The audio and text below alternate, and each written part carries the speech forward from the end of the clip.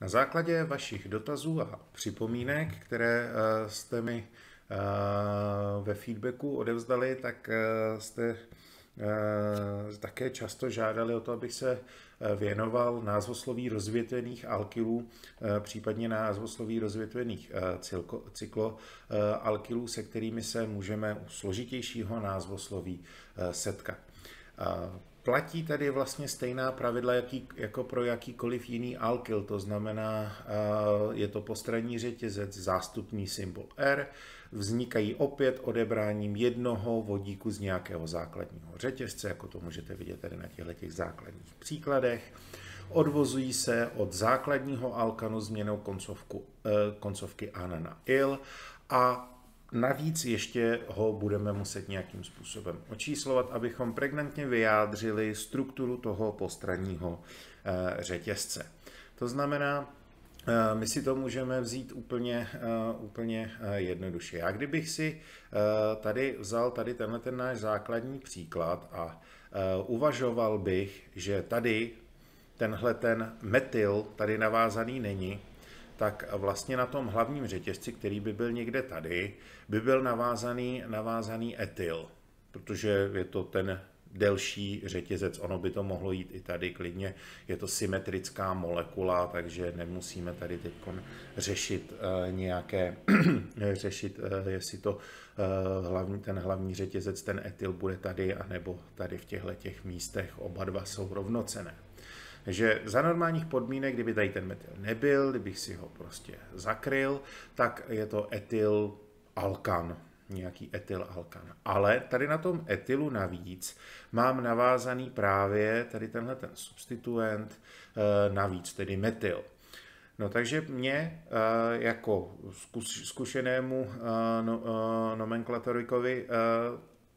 vystane na, na, na mysli to, že já musím tady tenhle ten postranní řetězec nějak očíslovat, abych vyjádřil, na kterém uhlíku ten metyl navíc sedí. Takže uh, dělá, uděláme to jednoduše. Uh, jedničku má vždycky ten uhlík, který je napojený na ten základní řetězec, na ten nejdelší, který my tady máme naznačený touhletou uh, čmáranicí. Takže tady tenhle ten uhlík bude číslo jedna. A tady tenhle ten uhlík bude číslo 2. A vidím, že na etylu mám na uhlíku číslo 1 navázaný metyl. Takže využiju zase mně známá názvoslovná pravidla a budu psát, mám tady 1 metyl, tedy na uhlíku číslo 1 je metyl, který je navázaný na etylu. A mám vyřešeno. Tady celý tenhle ten rozvětvený substituent bych systematicky nazval 1-metyl etyl a byl by zase navázaný na nějakém alkanu. Podíváme se tady na tenhle ten vedlejší příklad. Tady vidíte zase, musím vybrat nějaký, uh, nějaký základní, uh, nějaký základní uh, řetězec, který tady který tady bude, který tady bude vytvořen, ale teď vždycky si musím pamatovat to, že uhlík číslo jedna bude ten, který se váže na nějaký ten hlavní základní uhlovodík. To znamená, tady tenhle ten uhlík musí mít jedničku. A teď já musím vybrat ten nejdelší, ten nejdelší řetězec, který vychází tady z tohohle toho napojeného uhlíku. A tady už bohužel nemůžu vzít nějaký tříuhlíkatý řetězec, ale zase si tady můžu vybrat pouze dvouuhlíkatý. To znamená, můžu si vybrat tady tuhle tu dvojici, tady tuhle tu dvojici nebo tady tuhle tu dvojici. Ve výsledku je to jedno, zase jsou to tři rovnocené varianty. Já tedy můžu zvolit jako uh, hlavní řetězec toho postranního řetězce, tady tenhle ten. Takže zase tady mám etyl a zase vidíte, že na tom etylu mám na prvním uhlíku tentokrát navázány dva metyly. Takže zase tím aditivním způsobem já to dám dohromady, mám tam na uhlíku číslo 1 jeden etyl, eh, pardon, metyl, na uhlíku číslo 1 druhý metyl, takže 1 je 1 dimetyl,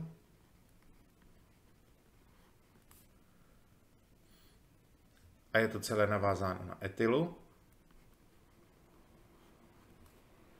A celý tenhle ten postranní řetězec by se tedy jmenoval 1, 1 dimetyl etyl a byl by to nějaký alkan.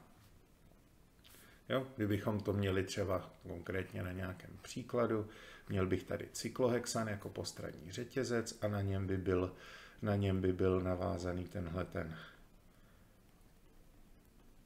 na něm by byl navázaný tenhle ten rozvětvený postranní řetězec, takže by to byl 1, 1 dimetyl, etyl, cyklohexan. 1, 1 dimetyl, etyl, cyklohexan. No. Když se ale tady podíváme tady na tenhle ten konkrétní příklad, tak já vlastně když napíšu tady 1,1 dimetyl etylcyklohexan, tak mi tady chybí jedna důležitá informace a sice, kde ten 1,1 dimetyl etyl na tom cyklohexanu sedí. Pardon, tohle to musím vymazat, to se mi nelíbí. E, to znamená, já tady musím ještě samozřejmě dodržet ta názvoslovná pravidla, která používáme u těch základních uhlovodíků. To znamená, já tady, tady celý tenhle ten uhlovodík postraní, rozvětvený musím dát do závorky a určit jeho polohu, protože tyhle ty lokanty patří pouze k tomu postrannímu řetězci. No a protože na tom cyklohexanu nic jiného není, tak já tady uh, si ten cyklohexan očísluju očísluju tak, jak, očísluju tak, jak potřebuji, to znamená, tady bude uhlík číslo 1, takže je to jedna pomlčka, 1,1 dimetyl etylcyklohexan. Jo?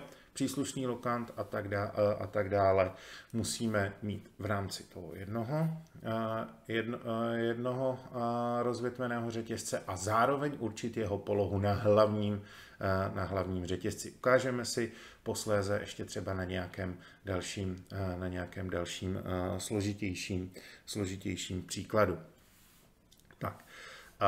Další, eh, další rozvětvený řetězec, který tady máme k dispozici, je tento. Tady vidíte, že navazuje se mi na nějaký, na nějaký hlavní úhlovodík, tady ten uhlík, takže ten bude mít jedničku a teď budu od něj hledat nejdelší řetězec.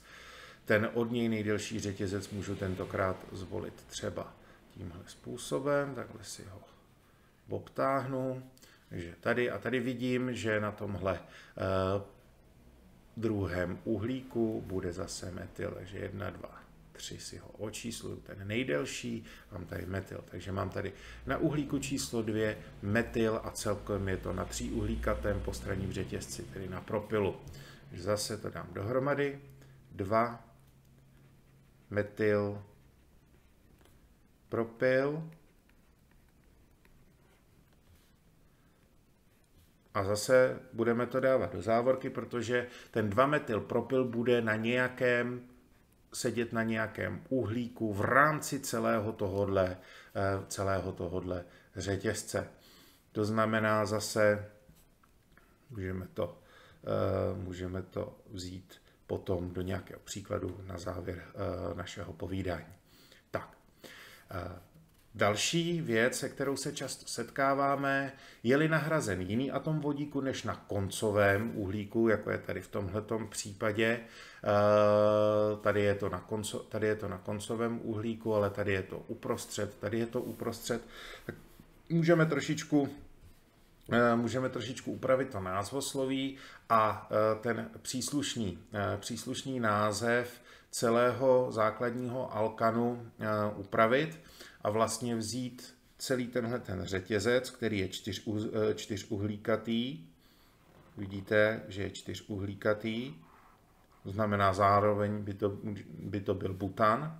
A ten butan má odvětvení, tedy napojuje se na vedlejší nějaký hlavní řetězec eh, na druhém uhlíku. Takže já, abych tady z toho eh, ne, eh, nedělal nějaký jedna metylpropyl, jedna, jedna metylpropyl, tak já můžu říct, že je to butan, který se odvětvuje na druhém uhlíku, takže tady podle toho předpisu by to byl butan, 2 il.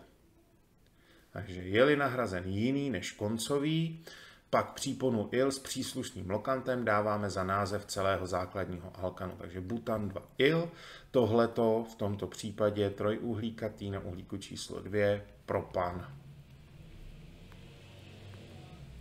2, il. A zase tenhle ten způsob, eh, tenhle ten způsob eh, Eh, dává poměrně, eh, poměrně jednoduchou možnost, jak to, jak, to, vy, eh, jak to vyjádřit. Ono napsat metyl, etyl nebo propan 2, propan 2 il, nechám na zvážení podle vás, co je jednodušší. Mně teda přijde tenhle ten způsob jednodušší, protože mám tady il, tedy postranní řetězec se mi vytvořil odebráním vodíku na druhém uhlíku propanu tady na tom, tady na tom, pro, eh, prostřed, eh, tady na tom prostředí. Pokud to bude na konci, tak je to prostě propilo a hotovo. Ale tady je to propan 2. Il. Na to u těch rozvětvených eh, postranních řetězců není, není všechno. Některé rozvětvené alkany mají takzvaně semisystematické názvy, které se dodnes často používají. To znamená semisystematické, tedy napůl nebo neúplně systematické názvy, které byly vžité. Tady ten propan 2 il, nebo ten jeden metyl etyl, který už jsme tady e, měli, to znamená ten postranní řetězec, který má následující vzorec, nebo alkyl, který má následující vzorec, e, se tradičně v názvosloví označuje jako izopropyl. Takže kdybyste třeba někde našli izopropyl benzén. Já vím, že benzeny jsme, nebo benzena jako takový jsme ještě neřešili, tak to bude prostě a jednoduše benzenové jádro aromatické a na něm bude sedět ten metyl etyl, nebo jedna metyl etyl propan 2, uh, propan 2 il. No. Stejně tak existuje uh, izobutyl, což je 2-metylpropyl, ten už jsme, myslím, tady taky měli, 2-metylpropyl, to znamená na druhém uhlíku je metyl a celkem to má tří uhlíkatý řetězec, takže 2-metylpropyl. Eh, sekundární butyl, tak se to čte, to sekbutyl se čte jako sekundární butyl, je butan 2-il, takže CH3, CH, postranní řetězec, CH2, CH3, pak máme terciální butyl, ten už jsme taky měli, to je jedna, jedna dimetyl eh, etyl, to je následující řetězec. Terciární, protože tady tenhle ten uhlík má na sobě tři další uhlíky navázané, proto je eh, terciární. Tady ten je sekundární, protože má na sobě navázaný jeden vodík a dva další Eh, uhlíky a tak, eh, a tak dále. To jsou věci, které se často používají právě třeba nebo sekundární, terciární a tak dále u u derivátů uhlovodíků, tam se s tím častěji setkáváme. Tady to je vlastně takový pozůstatek, ale na některých lahvích nebo eh, v některých publikacích to ještě pořád najdete. Pak ještě máme eh, neopentyl, což je 2,2 dimetyl, eh, dimetyl propyl, to znamená, máme tady CH 2,2 dimetyl propyl,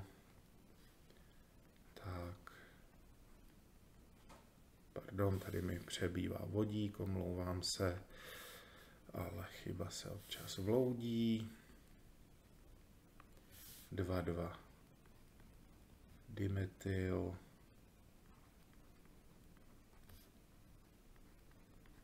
propyl. Tak, propyl, 2 metyly, tady by byl tedy ten postranní řetězec někde CH a tady mi chybí ještě dvojka. Tak, 2,2 dimetyl propyl nebo neo Eh, neopentyl. Eh, neopentyl, protože tady je celkem pět, eh, celkem pět uhlíků a to označení neo označuje právě tuhle tu strukturu. Existuje jich celá řada dalších, ale nejčastější jsou izopropily, izobutyly, sekundární a terciální butyly. Ten neopentyl už tak častý, už tak častý nebývá.